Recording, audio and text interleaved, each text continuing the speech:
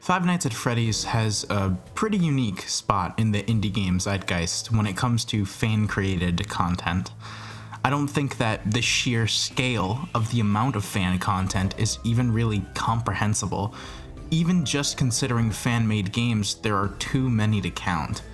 However, amongst the tens of thousands of works of art, like finding a needle in a haystack, there are a handful that have made their way towards becoming some of the most well remembered and loved. This is what this video is about. On February 20th, I made a community post asking you all, the viewers, what the best of the best Five Nights at Freddy's fan games are. And from this list, I'd like to start a video series of retrospective discussions for some of the community's favorite fan games. And I figured for the first one, why not start from the beginning? Let's talk about Five Nights at Treasure Island, and how it triumphed from a more than half a decade long development nightmare to become one of the most well loved and best made FNAF fan games to date.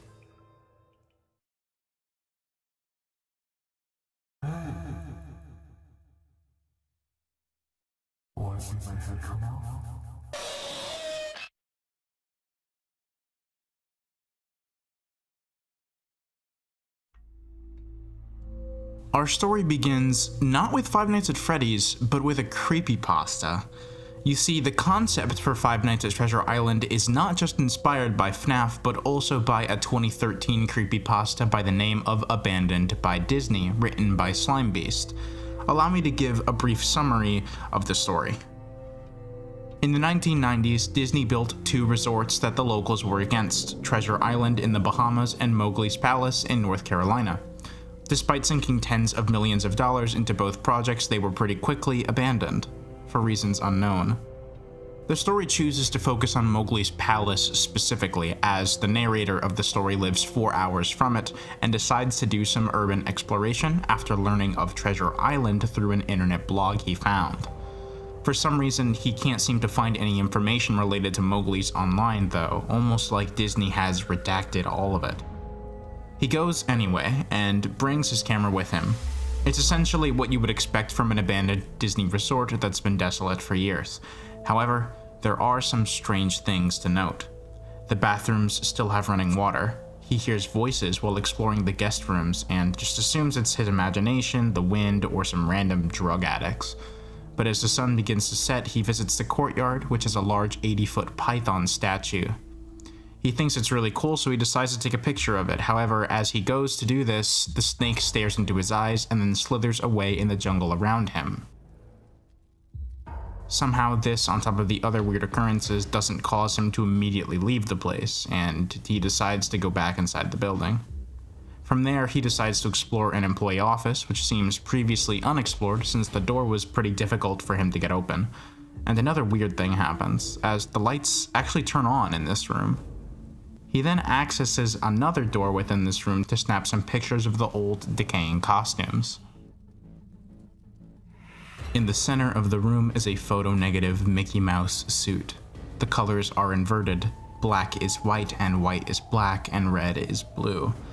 He goes to take the head off of a different Donald suit and a skull falls out of the bottom as he dislodges the head from the suit and comes crashing to the ground. As he tries to make his escape, the photo-negative Mickey suit begins to slowly rise, first sitting up and then standing up entirely until it's on its feet, and asks him in a perfectly replicated Mickey voice, Hey, you want to see my head come off? The narrator then freaks out and runs for the door. He escapes and hears the sound of flesh tearing and blood dripping behind him as, allegedly, the suit does take his head off. He never took the pictures that he wanted and never got to write his own blog about Mowgli's. He now realizes why Disney redacted all information on Mowgli's palace in the first place. A few years later, following the release and immediate explosive success of the first Five Nights at Freddy's game, AnArt1996, who I'll refer to as Matthew from now on, had an idea. He decided that he'd make a fan game. That creepypasta combined with Five Nights at Freddy's would serve as the basis for the game's story and mechanics. Unlike with the oversaturation that we see today, FNAF fan games essentially didn't exist in any form at this time, though it technically wasn't quite the first Five Nights at Freddy's fan game.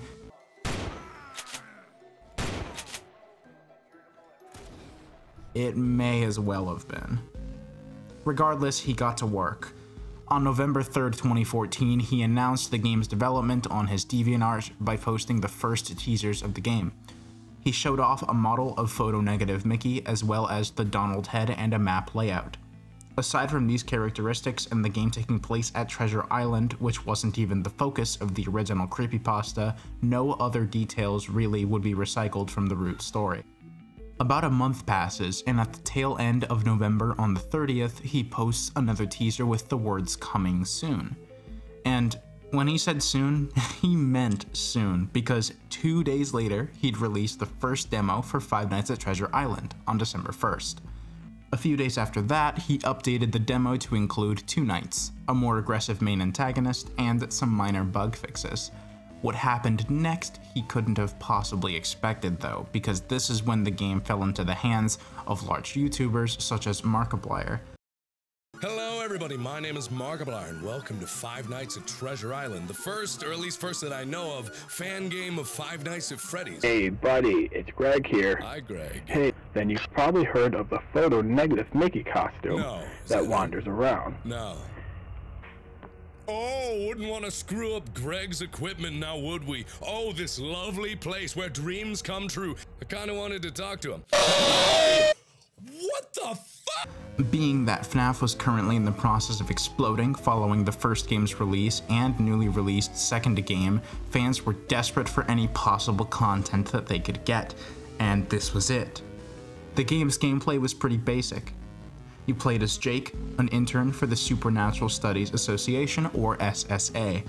You get a phone call from Greg who tells you about the suit and that it can only hear and not see. By turning off the cameras, you'd play a noise lure in another room that would distract it and make it leave, and the rest was standard for FNAF games. On the second night, you'd get a call from Lisa, who would clarify that photo-negative Mickey can see, just not very well. However, this doesn't really impact the gameplay at all, so it's fine.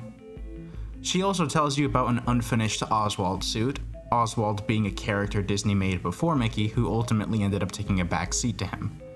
There's also a Donald Duck head that occasionally sits on your desk and just makes a really obnoxious loud noise. Go away! Asshole! The F! The game's popularity would soar. As proof of that, today, Markiplier's video from 8 years ago sits at over 9.1 million views, with his part 2 at 4.3 million. Can you even visualize that number? That's crazy. That's like higher than the total population of a lot of countries. Unfortunately, this wasn't as cut and dry as it might seem for Matthew. He was actually pretty unsatisfied with the state of the game. He didn't expect it to get so popular so quickly, and he said that he couldn't keep up with the work and would need more time to complete slash polish it. About a month and a half later, on January 11th, Matthew would release a short teaser game in the meantime, in the form of The Button Machine Holds Codes. By pressing buttons to input the codes, you could receive some teasers, behind the scenes looks, and other similar things. That's basically all this has to offer. And two weeks later, on January 26th, he'd release the remastered demo or version 1.0. Unfortunately, this version of the game was actually quite unstable, which may be because it was completely rebuilt from scratch. And on February 1st, Matthew would release another teaser game called This Gives Some Extra Enlightenment, or TGS EE. It is very similar to the previous teaser game, as upon performing the required puzzle like actions, you'd be treated to a bunch of 3D renders. Fast forwarding a few months, a trailer for the game would be released on Purity Sinners' channel on April 1st.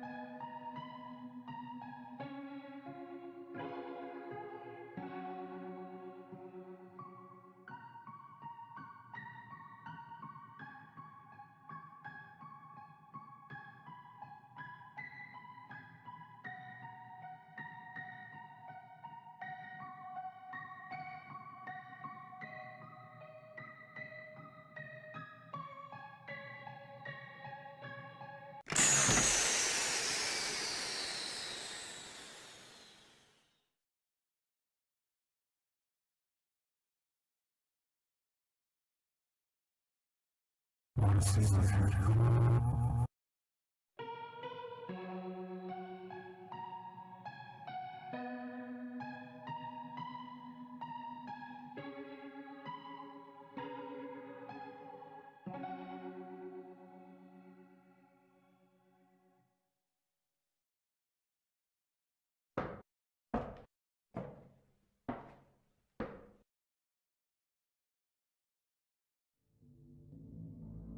And on June 23rd, versions 2.0 and 3.0 were both released, for reasons I'll get into in a moment.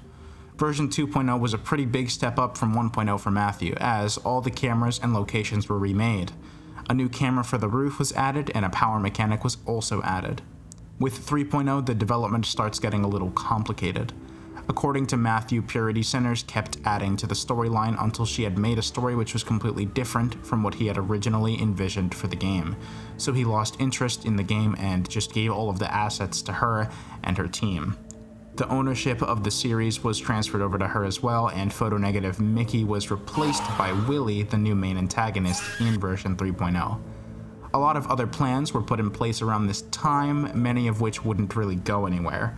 This was the version of the game that existed for over a year. After the game files had been leaked due to a rogue developer, a drama between Slimebeast, the original creepypasta author, and Purity Sinners, and after a few conflicts between the team and the community, Matthew announced the game would just be cancelled on June 23, 2015. She would later claim that she was going to take over the project entirely with a trilogy of new games called Project DI that month, but it was cancelled just two months later, in August. Later the next year, in 2016, Matthew would post the game files publicly so that any developers could take the original concepts and make fan made continuations of Five Nights at Treasure Island. This began the period of fan games from 2016 to 2018. In September of 2016, about 14 months after the release of 2.0 and 3.0, 4.0 was announced, developers Subwoofer X3 and Blackout 1912 collaborated to make a fan game for Five Nights at Treasure Island called Nightmare Before Disney, which borrowed ideas from Five Nights at Freddy's 4 and incorporated it into this universe. The idea for this game went all the way back to mid 2015, but that version was cancelled. The gameplay for the game sort of went like this. You're trapped in a nightmare fighting against evil toons, which is what the monsters or whatever the suits are called, and to drive them off, you must blink and sometimes use the monitors, which have 10 cameras.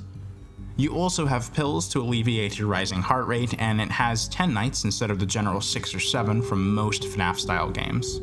And a few months later, in January of 2017, the same two developers collaborated once more to make a definitive, quote unquote, final version of the game Five Nights at Treasure Island 4.0. The main storyline from 3.0 was maintained. The main menu was changed, the old characters were entirely reworked, new locations were added, a final boss was added, and more controversially, photo negative Mickey and Willie were entirely replaced by a new character named Mick Mick. This was a very poorly received change, and among other reasons, caused version 4.0 to be cancelled before it was finished. Funnily enough, this team actually also put together a teaser game similar to the old ones from the original developer Matthew. It was called Five Nights at Treasure Island TBMSTF, and the acronym is still not known to this day. It worked almost exactly the same as the original one, having five buttons and revealing teasers when certain inputs were made. If we skip all the way to October 28th, Matthew would actually upload a new, fully redesigned alpha build of Five Nights at Treasure Island, being nicknamed version 5.0. The visual style of the game had changed entirely, but the gameplay was more or less the same.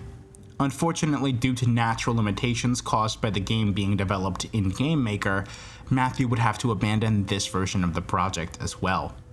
Blackout from version 4.0 and another developer, PNM, tried several times to revive version 4, calling it version 4.5, and even releasing Five Nights at Treasure Island 2017 in December. Even though it happens many years later, I think it is worth noting that Malrat did later try to reboot Treasure Island 2017, but only a demo came out and the full game seems to be in limbo to this day. A new team would rise to the occasion to bring Five Nights at Treasure Island the treatment it had always truly deserved. allow me to introduce to you Team Radiance.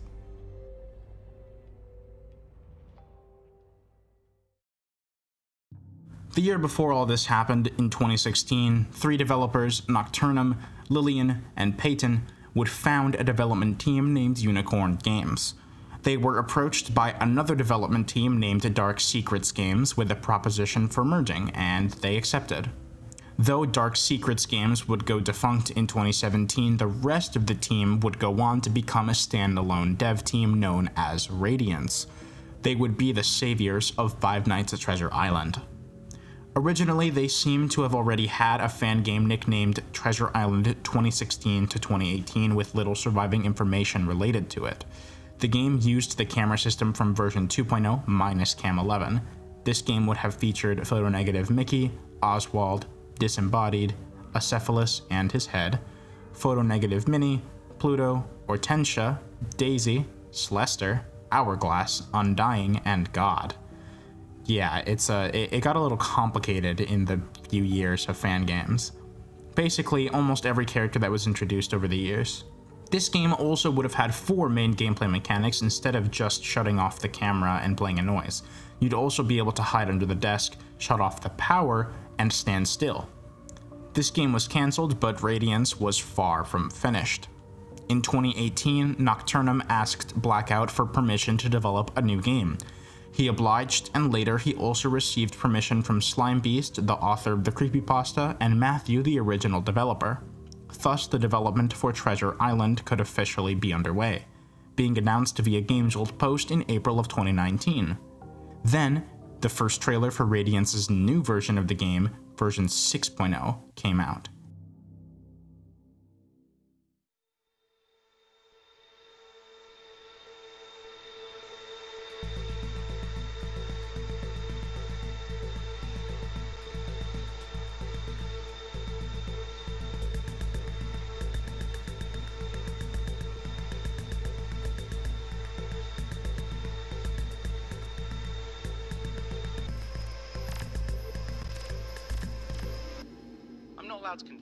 Anything yet, but let's just say we found some questionable things.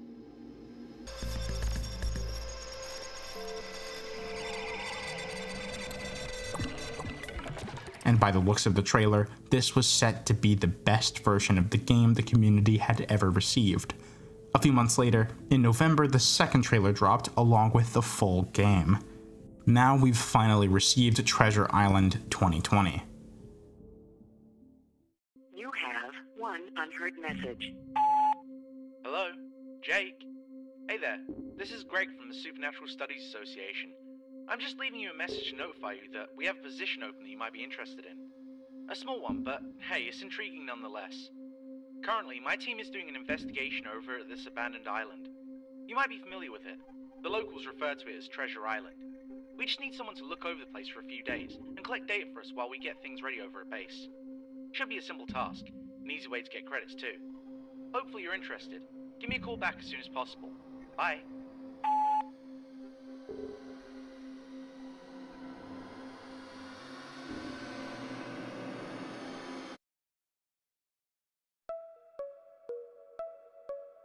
The gameplay and story derived from the very first version, with you playing as the same character Jake and receiving updated but similar versions of the same phone calls from the same people. The game starts with a missed phone call from Greg at the Supernatural Studies Association referring to an open internship position to investigate the titular Treasure Island. And from there, the story continues from how we know it. Greg calls you on night 1 and Lisa on night 2. The mechanic to turn off the cameras and play a noise to distract returns, but the mechanics to turn off the lights and stand perfectly still are added, which were concepts from their previously cancelled game and each suit needs a specific one of these mechanics used against them in order for you to survive. The cast of characters sees mostly familiar faces return. On night 3, you get a call from another SSA intern who seems to be trapped in the pirate caverns.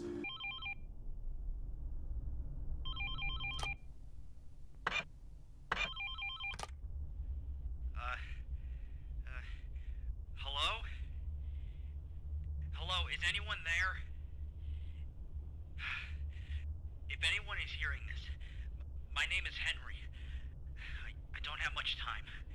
I'm one of the SSA's interns. I'm stuck in pirate caverns. Please, whoever finds this message, help me. I, I know a lot of things about this place. I can't say it all over the phone. They could be listening. Just please come get me out of here. I'm on the second floor. After the end of the night, you transition into a point and click adventure type segment, and the gameplay completely changes. Surprisingly, this is a welcome change because the horror in this section is really well executed. You have to avoid the face, who I talked about just a bit ago, and find a door key, ride down the elevator, and then you get to meet this new fella. His name is Undying, by the way. Then you're treated to a secret room with doodles pasted all over the wall and giant text that seems written in blood. Before you even have time to process what's going on, Night 4 begins. Undying from the Caverns makes his gameplay debut. Aside from that, everything stays the same as it was before, just with another toon to contend with. Night 5 is also like this, just a little harder. And then after completing Night 5, a cutscene plays.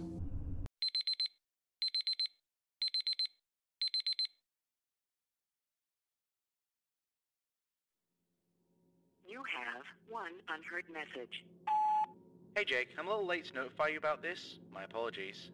I'm just leaving you a message to let you know that we're gonna need more time.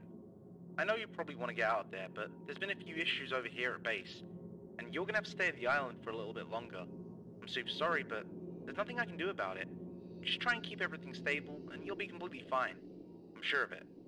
I'll notify you when we're ready to pick you up as soon as possible. Thanks, and good night. At the beginning of the night, you get another call from the other intern who says he figured out the passcode to the door that leads to the third floor of the building. Before you have time to process the implications of that, however, you're met with an abomination.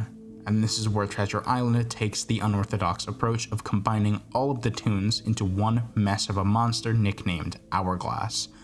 Because he's a combination of the other toons, he actually has all of their attack patterns combined into one, making for a fantastically crafted showdown against a true final boss on the last night.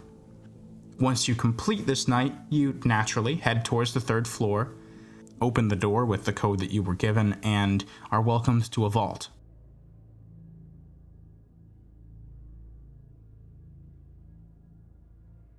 I failed to mention this before, but between every night, there were cutscenes that depicted this shadowy Mickey figure with white hollow eyes, and her name is Mother.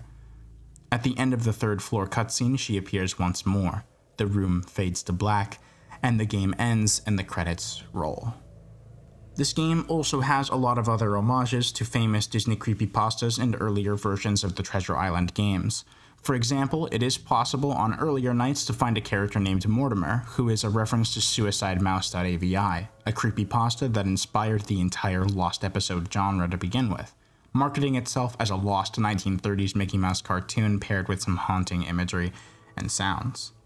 There's also lots of references to other Disney stuff and older games, as it's possible in the custom night to see the original Steamboat Willie, who was used in 3.0 if you remember, and Pete from the original Steamboat Willie cartoon. It is also possible to see Pluto off to the left in the dark corner of the office, though he doesn't really do anything. The last excellent homage is the addition of a classic mode, which allows you to play the previously never finished original version of Five Nights at Treasure Island.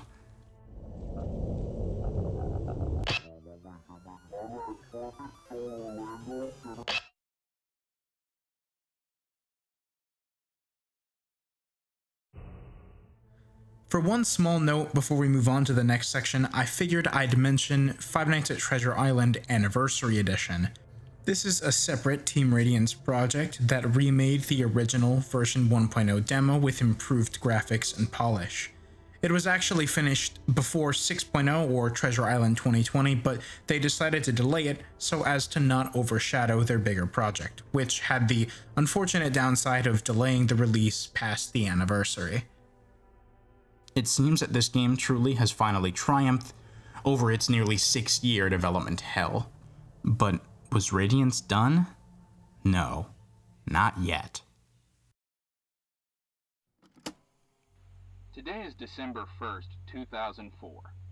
This is Dr. Jared Rowley speaking, and my patient's name is Jake Smith. As per authoritative requests, all sessions with Mr. Smith from this point forward will be recorded for use in the Discovery Island case. Now, Jake, before we get started, I'm going to briefly explain the circumstances behind your admittance here on tape for the sake of documentation. Is that okay? okay. Jake Smith was declared missing in 2003 during the Discovery Island incident. A year later, on July 23, 2004, he was found and taken into custody after displaying signs of delusions and paranoia. Currently, he's a suspect in the disappearance of Greg McLaughlin, Lisa Birch, and Henry Miller. Now, Jake, can you tell me anything you recall from your time on Discovery Island? We spoke about it a little during our first session, but I've been asked to get a statement on tape. Maybe you'd like to start from the beginning and work your way from there? About your time as an intern? No? That's... that's alright, Jake. We can do that again whenever you're comfortable. Maybe... maybe you'd like to talk about what exactly caused you to vanish like that, or where you were when you were missing. I know you said it was a blur, but maybe trying to talk about it will help you remember. Okay, that's that's also fine. What about the cabin? Can you tell me about the cabin, Jake? You told me that nothing happened there during our last session, but considering what you did to the place... Look, this case has stumped the authorities, Disney, even the agency you worked for. There's just dead end after dead end, and your friends' families have no answers. We know something happened in that cabin. If you don't want to talk about it right now, that's okay too. But please, I think getting it off your chest at some point would really benefit you. The sooner they get answers, the sooner we can focus on helping you get better. Don't you want to put all this behind you, Jake? You spent a year on that island. You lost a year of your life to it. Three friends. Do you really want it to take even more? Thank you, Jake. Now please, tell me about the cabin. On November 28, 2022, Radiance released Oblitus Casa, the official sequel to Treasure Island 2020. Though it is a sequel, it also updated and retconned a lot of the story from the previous game. Nocturnum himself even said that any inconsistencies simply render the first game not canon. However, many other things have been kept, such as the characters and basic timeline of events. The story takes place one year following the events of Treasure Island. The opening cutscene depicts a conversation between the previous protagonist, Jake, and probably his therapist or doctor. On night 1, we're introduced to the game's beautifully made setting, a cabin. A notepad at your disposal serves as your tutorial and guide. On this night, you only have to deal with Willie and Belial. With Willie, you use a music lure to move him to different cameras, and with Belial, he slowly begins to show up on your notepad, and you just have to erase him and I have to say that this is honestly one of the coolest mechanics I've ever seen in any FNAF fan game, even though functionally it's basically just a music box. To shout some more praises, I think the environments look even better in this game than they did in Treasure Island 2020, and that's really saying something, because those were already fantastic. The lighting, atmosphere, models, and animations have just taken that extra step in this game. It honestly looks like its own independent game they're ridiculously well polished for something that essentially boils down to a fan project for an existing franchise. Another interesting idea reveals itself if you happen to die. You see, this game actually allows you a second chance. You're put into a setting that could honestly be an entire other game of its own, and your goal is to find three hidden Mickeys to clear the game whilst fending yourself off using more unique mechanics. The game actually includes a scripted death on night 1 from Mother from the previous game in order to introduce to the mechanic. This is all fine and good by itself, but the developers went an even further extra mile to add a new gameplay section between nights. These are the tunnels.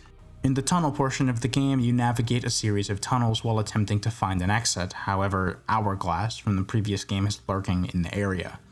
The map consists of a 7x7 grid of 49 rooms, only one of which contains the exit.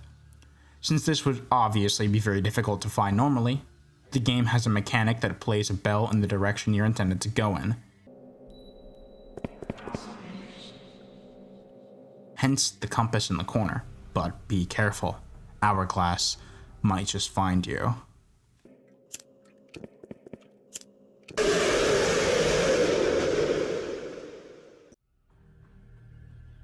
On night 2, we get introduced to three more toons Daisy, Pete, and Face. Daisy isn't actually too bad. You need to avoid her in the cameras or flash the light. Otherwise, she'll show up in your office and be a nuisance. She's also capable of temporarily disabling the camera she appeared on. Face, on the other hand, is much more important to the gameplay loop. Occasionally, you'll hear a sound from the attic, and in that case, you need to go up there and shine your lighter at him. However, if Pete shows up, you need to leave, otherwise, it's game over. Nights 3 and 4 only introduce one new threat each. This makes sense, as the cast of antagonists is already pretty large. This serves to balance the difficulty curve, which would normally be sharpest in games like this on these two nights. On night 3, you get introduced to photonegative Minnie, who can easily be deterred by the camera flash if she gets closer to you. And on night 4, you become acquainted with Dippy. He tries to get into your office by breaking the window to your left, but he's also not too difficult to deal with. After night 4 is completed, you're treated to this cutscene.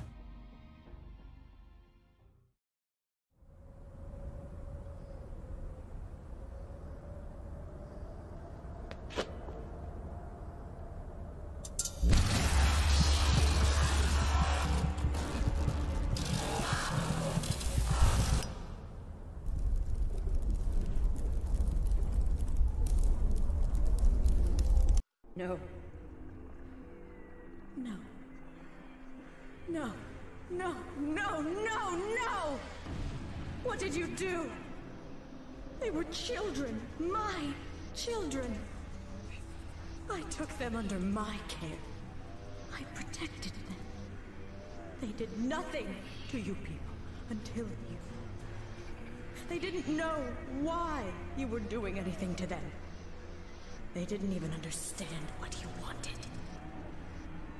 They were scared. And you killed them. You people shouldn't have come here. I shouldn't have let you. I've seen what you people do before. Everything that you do here. Every time your team meddles in something they understand. Every time they push and prod and poke too deep. You don't even realize that the grass you step on, the air you breathe, it's all me. I've always been here. Single time. Even if you didn't realize it. Even if you didn't recognize me. I have been here forever. And I will be here forever. But even after countless amount of times I've seen this play out, the eternities I've spent with you, I never thought you'd go this far. I was wrong to let you pollute this place, to walk all over me as long as I did. I was wrong not to deal with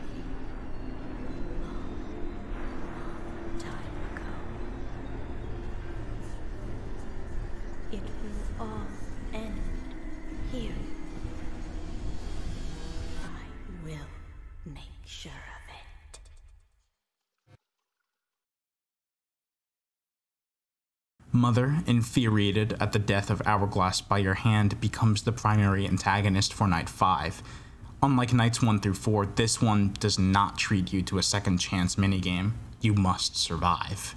Similarly to Hourglass in the previous game, Mother takes on the characteristics of the other toons from earlier nights. When Mother is shown with pupils, the flash must be used, however, when they are absent, the audio lure must be used. The notepad also has Mother's face constantly coming into existence, and you must erase that too. For some reason, Face is still present in this night. Apparently, it's the only character not under her direct control. Although this time you have to flash him with the lighter at least six or seven times, maybe even up to nine times, to really get rid of him. This night, all things considered, is not that bad, at least not until 3 am. This is when Mother transforms into an even more grotesque version of herself and becomes exponentially more aggressive, and the margin of error plummets. However, if you manage to triumph over her, the sun rises.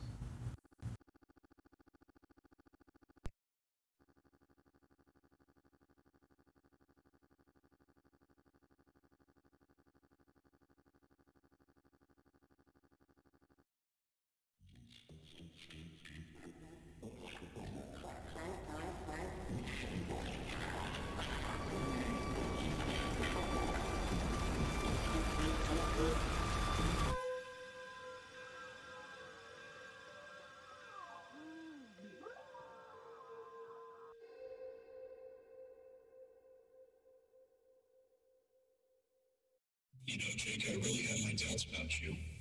I mean, after everything that happened, after what they did, and then they send you here, who wouldn't? But you impressed me. You really did. I was angry at first. Angry about being lied to, about them putting me into that situation. I mean, they got me killed. Can you really blame me? And realizing that this had been happening over and over on a scope greater than ever comprehend. And I'm always the one who gets the worst of it. It was hard to let go. But I realized it eventually, that this was never going to end until we ended her. By the time I let go of everything and left that costume behind, I thought it was too late. You were gone, trapped in limbo. I started rebuilding myself slowly. I used whatever I could get my hands on. I knew it was a long shot, but if I had even the slightest chance of finally bringing her down, I had to take it. And then you showed up again. I knew this was what I had been waiting for a second chance. I started leaving notes for you. I'd been observing those things for a while. I knew how to trick them, how to outsmart them. I knew she was getting desperate to get rid of you. Mean, this was probably the furthest you'd ever gotten. That's what I was getting nervous about. You really made her angry. But then, you did it. You did the impossible. You killed her. You know, it's funny, kind of. So started because they needed another intern to come looking for me. All that time and all the times you were looking for me, I guess it's fitting I got to help you finish things. To repay you for that in the end. The nightmare is over for the most part anyway. I can't thank you enough, Jake. Truly. You might not even understand what you've accomplished ever. But just know, no matter what, that she won't haunt you or this island anymore. Years and years of things most can't even fathom. Monsters, haunted costumes,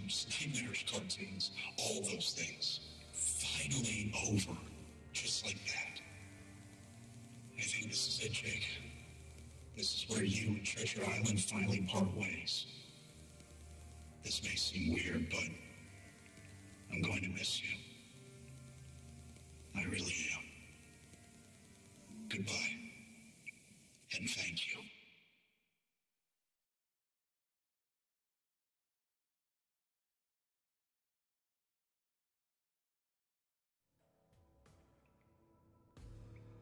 And this is likely the sequence of traumatic events that circles back to Jake's therapy session at the beginning of the game.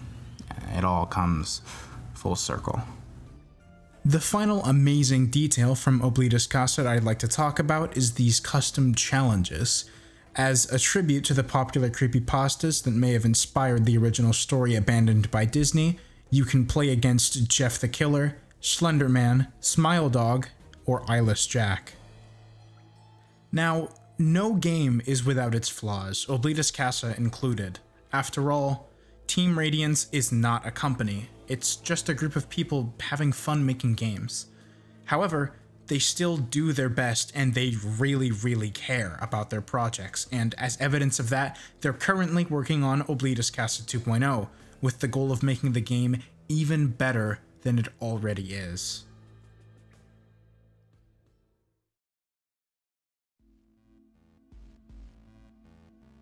Five Nights at Treasure Island is most certainly one of the most iconic FNAF fan games of all time. The fact that even as recently as just a few months ago, as of the writing of this video, that it can still have such an impact on the community at large, and help set a new bar for fan game quality along with titans such as FNAF Plus in the near future, just goes to show that even in 2023, the Five Nights at Freddy's community stands strong and proud. I am so glad that Treasure Island never died, and hopefully you all feel the same. Tell me in the comments which fan game or fan game series you want to hear me talk about next, although I already have a few ideas. Anyways, I hope you all enjoyed, and that's going to be all from me. Until next time.